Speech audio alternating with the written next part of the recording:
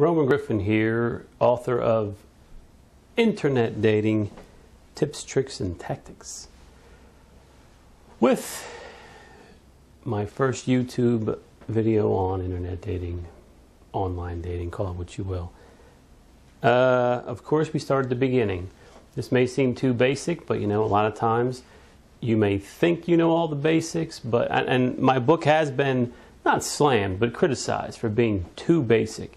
But um, I don't believe there is such a thing. I think that people overlook a lot of things.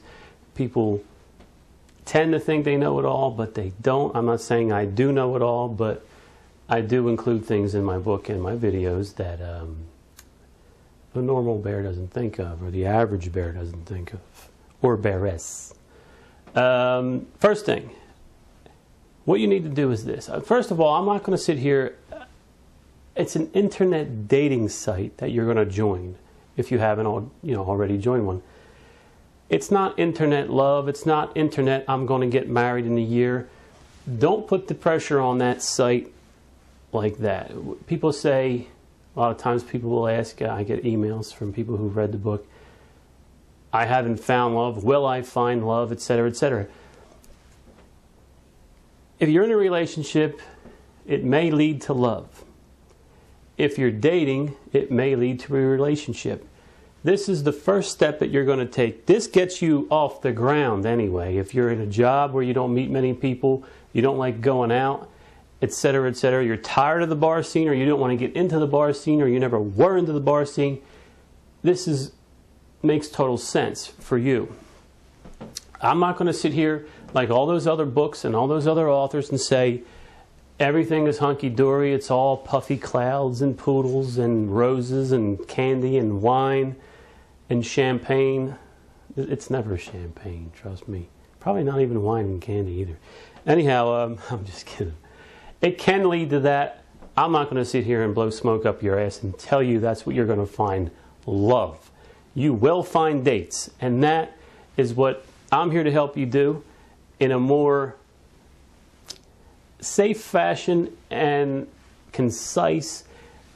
And I'm just trying to help you weed out all, you know, as much of the bullshit as possible. Your first order of business, though, is this. Even if you have already joined an internet dating site, you need an email. You have to create an email specifically for the, just for specific use with your online dating profile. Now, a lot of these sites will tell you that it's a double blind system. Nobody can see your email. There is a way, regardless of what they tell you about this double blind system, your original email, your email address, your regular email address can show up. Believe me when I tell you this, it can show up in an email, especially, not especially, but pretty much only if you have it designed, your email, when you respond to an email, if you have your email set up to include the original message, when you respond back to somebody and the original message is included, sometimes, not all the time, a lot of times, your regular email address will appear. Why, I don't know, but I do know this happens. Don't let anybody tell you different. I don't care what site you're on, they're wrong. It's not double blind, it's not blind all the time that's a case where it is blind. That's why you need to use an email specifically just for the personal. Say, for instance, you're on America Online. You use your main name, the name that you sign online with a lot. Eventually, say that happens with the double blind system fails. Or eventually, someone's going to ask you, hey, what's your regular email address? Maybe their subscription is running out and they can no longer use the internet dating service. Or maybe your subscription is running out and you want to give somebody your regular email address.